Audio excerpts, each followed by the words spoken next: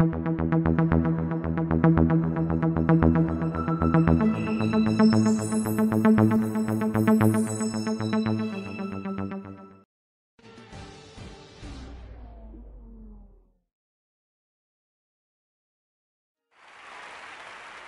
right, welcome to Shanghai International Circuit. I'm Iceman 2208, the steward from CRL that is going to provide this track guide tonight.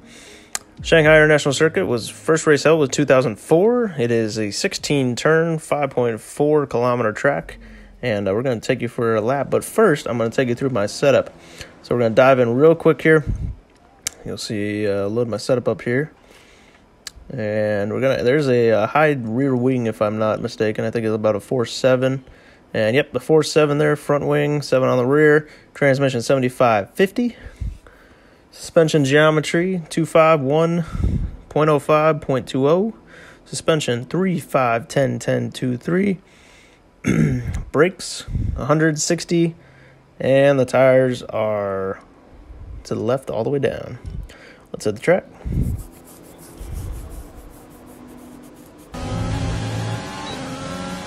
Okay, flying down the front stretch. We are approaching turn one, which you really want to ease into. You want to clip the first apex, start downshifting fourth, third, eventually down to second. You're going to try to clip this next apex right there. Perfect. Fly down, pardon the brakes again. Get the car to rotate in second gear and up third to get some grip, and then fourth, and you're on your way out of turn four. Going into turn five, which is really just a little kink. You're going to hug that chicane and then go straight down into six. You're going to downshift all the way to second to get the car to rotate. And you can see we have somebody in our way here, which is just fine. We're going to go around the outside because I want to show you how much grip you have in 7. If you uh, take either the inside line or the outside line, you will find the grip there if you do it correctly.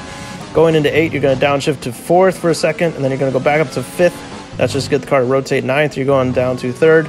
And turn 10, you're on the gas. You can put one uh, tire to the right side of the curb there as you excel down this straightaway into turn 11 all the way down to second gear just for a second. Easy on the gas. The back end will come around into 12. And then it's all about feathering the throttle and really finding grip. Here you are constantly searching for grip coming out of 13 as you exit onto the straightaway. Okay to put one tire on the side there as well. And DRS detection zone right here. Flap is open. We are absolutely flying. And we're looking for the curb on the left. And we're going to brake right at the top of that curb right there, all the way down to second gear in 14. Try to get a little closer to the apex more than I did there. And 15 is just a little jog there that they call it. But 16 is a problem child. You're going to run a brake right here, turn in, not. And this is what happens when you turn in too late. So don't do that. DRS is on, and that's a lap of China.